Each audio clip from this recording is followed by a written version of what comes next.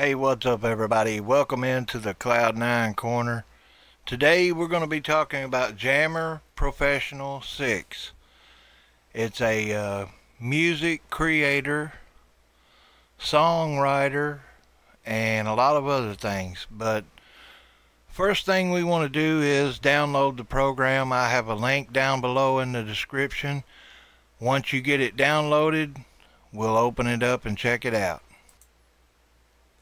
and once you get it downloaded it should look something like this. You've got two timelines. You've got your measures down below in the white. And up above that you have your tracks which will be your music tracks. So right now everything is blank and uh, we'll get started on it and I'll show you how to set it up it's great if you're writing a song or you need music for a song or if you're just trying to do both, whatever, it's a great program to uh, help learn and get started. You can use it for a backing track to practice your guitar or instrument parts. So we'll get right into it. So when you come down to the um, the measures.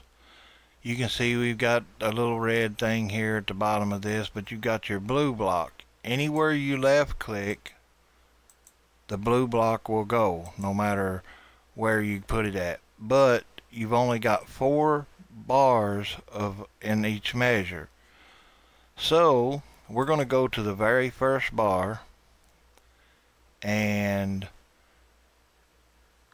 um well before we go to that you can go over here. You can see there's another little red icon. This is your punch out icon. We're on uh, this is measure 8 we're going to scroll it down to uh, let's say 120 120 measures and then I'm going to right click and I'm going to go to punch out after current measure. Now you probably won't see this, but there's a list that comes up when you right click. Let me see if I can get that in there. Uh, let's see here.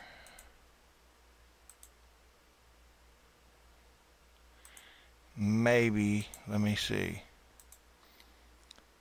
If I right click, it goes to punch in and out before current measure after current measure. So that's the one you want is punch out after current measure. Hopefully that's showing up. If not you right click on anywhere in the measure where the little blue bar, is there and you punch that then the little red icon will appear right here. So now it will play 120 measures before it punches out so we're going to scroll back to the top and go to the very first measure. We have no music yet or no tracks in the, the top. So I'm going to right click on this and I'm going to go to load band style so if you're not seeing this when you right click, you're not seeing the little bar that I'm seeing. It, it, you go to load band style and I'm going to make sure that you see this one if I can. Okay, so hopefully now you're seeing the second part when you right click on the first measure you go to load band styles I'm going to put a lead in count with the sticks one two three four. So I highlight lead in count sticks one two three four. I'm going to double click it. You can go down here to open. Then it puts this blue bar in and it tells you underneath of it lead in count sticks one two three four. So that's what's going to be in the first measure. It also added an instrument up here the sticks so that's where this came from. We're going to go to measure 2.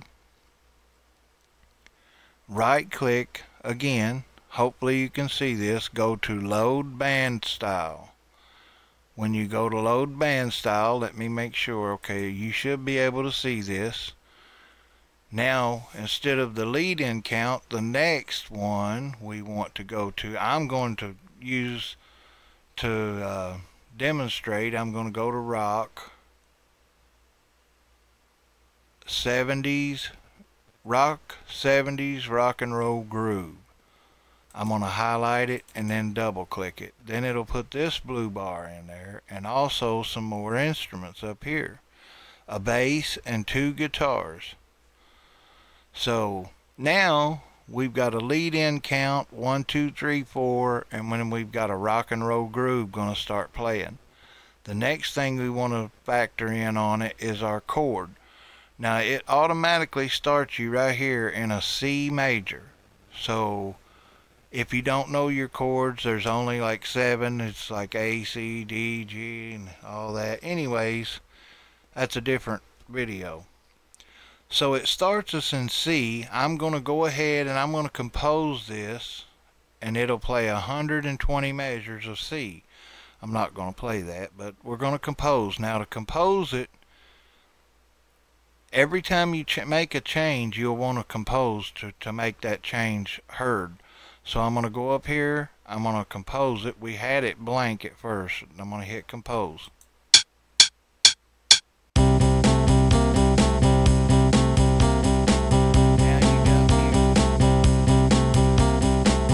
And that's a C. So we're going to go back to our first bar or measure of music here besides our lead in count and I'm going to put the blue bar on the first dot and I'm going to go to my keyboard and I'm going to press D. It automatically puts the D in there. I'm going to hit enter. Now we have a D there in that chord. But it won't play the D until we compose it one more time.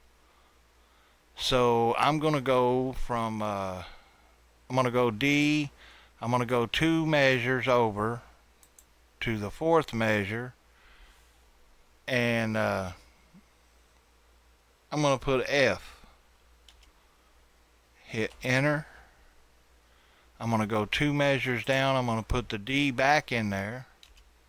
Now this is just an example song, so. And on the eighth measure, I'm going to put G. And on the tenth, we're going to go back to D. So now we've got several chord changes in this music. So, and it's also going to be playing in D and not C. So it's going to sound a little different. Now, in order to make these changes, I have to hit compose. So here we go.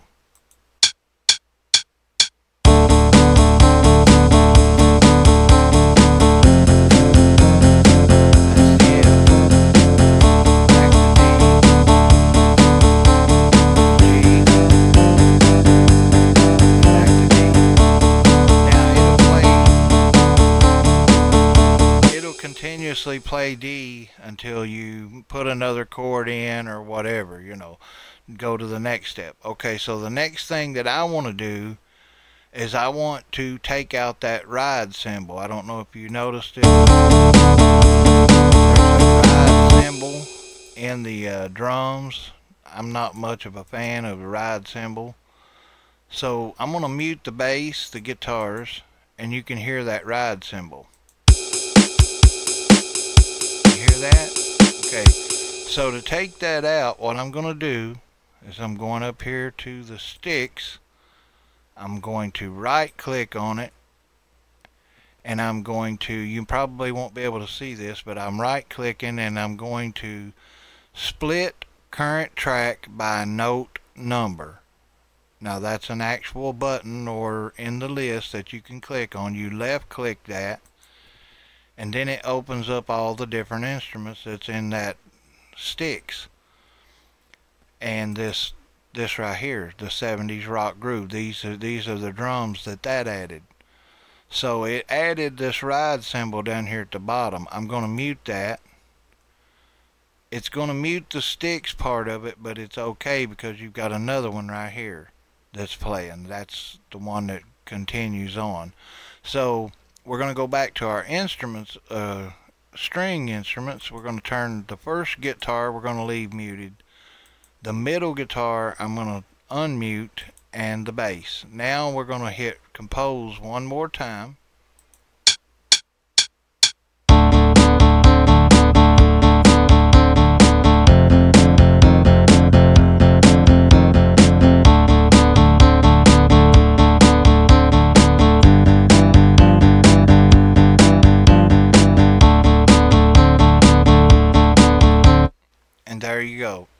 Basically, that's a song right there. Okay, so what I do um, whenever I get this much of it done is I like to take out the uh, the guitar part right here on this track on track 2 so I select that I come over here it says it's a steel guitar so I'm going to double click the steel guitar and you may not be able to see this one either but I'm gonna yeah yeah maybe you can. Okay so you can see that. Alright it's got all these different instruments. I'm gonna make the instrument instead of that steel guitar I'm gonna put it on the bass uh, finger picking bass electric bass finger I mean I'm sorry electric bass finger is what it says and then I'm going to click OK now it's going to take that twangy sound out of it and give us more of a bass run. So let's check it out. Let's hit, you don't have to hit compose, but that's where I like to start from. So I hit compose.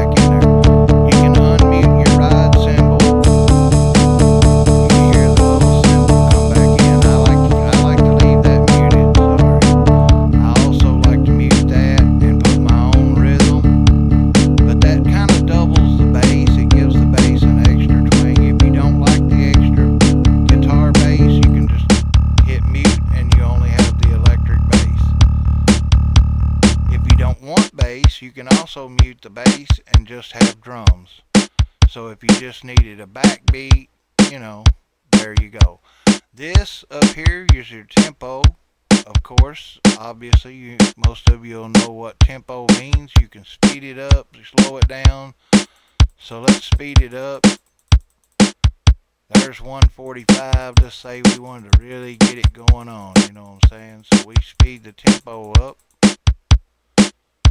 and for some reason it's not working. Maybe I have to unmute these. Maybe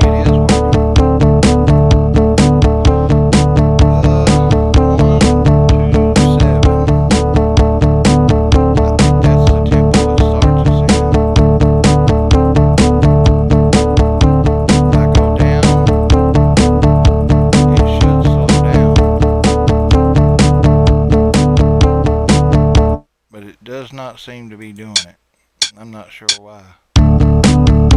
I tell you why, because we were on the count in.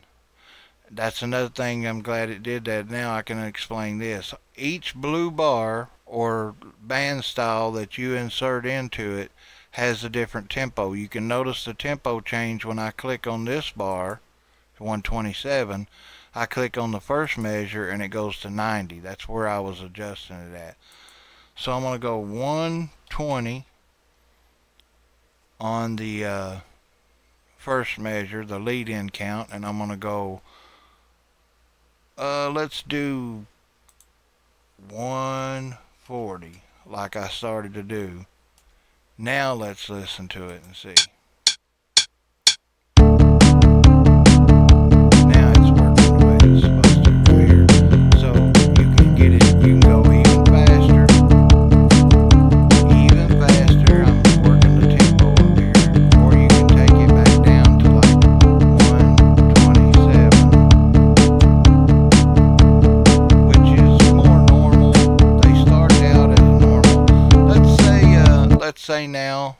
You figured out the tempo and each each band style will have an, its own tempo. Let's change the tempo, the band style, everything, but let's keep our chord pattern. We're going to right click on the, the rock and roll 70s groove and we're going to go to load band style again.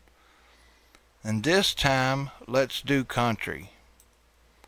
So I'm going to come up here to the country ballad groove 1. So country ballad 12 by 8 groove 1. We're going to load that in here now and it, you can see it changed. It also changed our tempo. It also changed our instruments. So now it's still got our ride cymbal muted and but it changed these drums to a different beat. So now I'm going to hit compose and it'll change the style of music to country. And we still have our chords in there, D, F, and G. So let's let's hit compose and listen.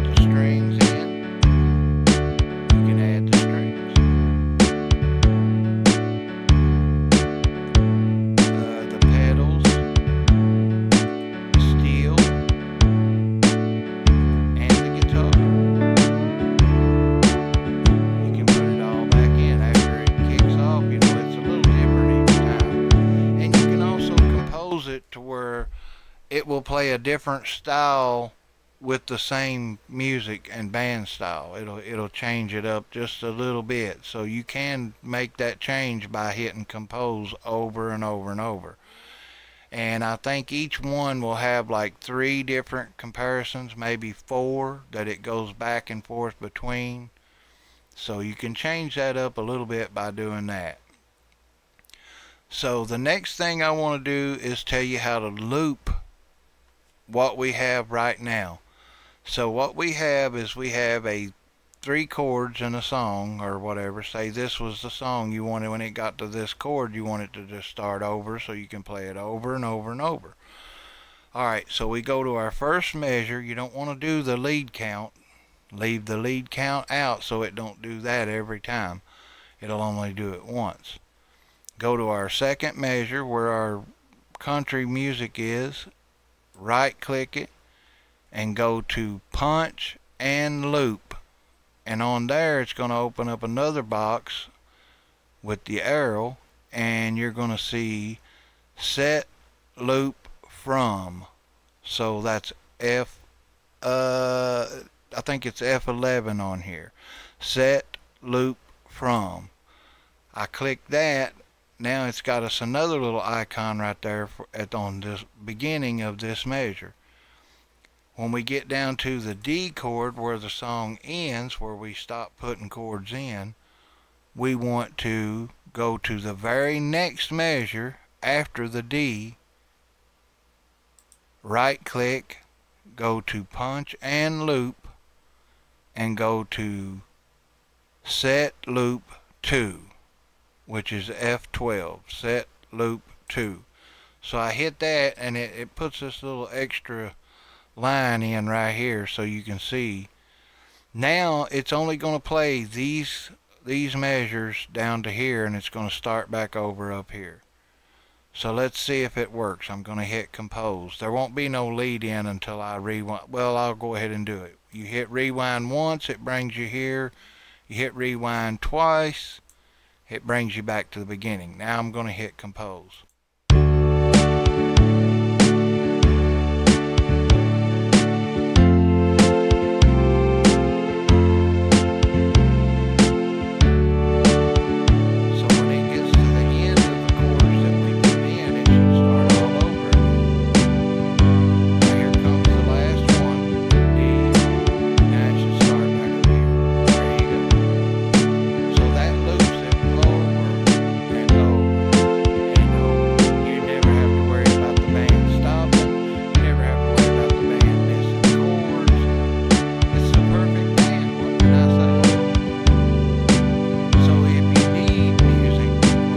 One thing that you can't do is save your song. And reason for that being there is a price on it. If you want to be able to save your song, you have to um, you have to pay. And it, the price is not bad. I think it's like fifty dollars, and it opens up. It gives you a lot more music to uh, add to it, and you can save, which means a lot. Now you can save a MIDI file. I think you can export a MIDI and that's free with the, the demo.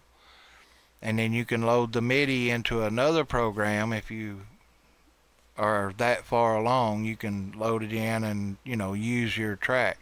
But this will help you make the music. It helps you practice and do a lot of things like that. I hope this video was helpful.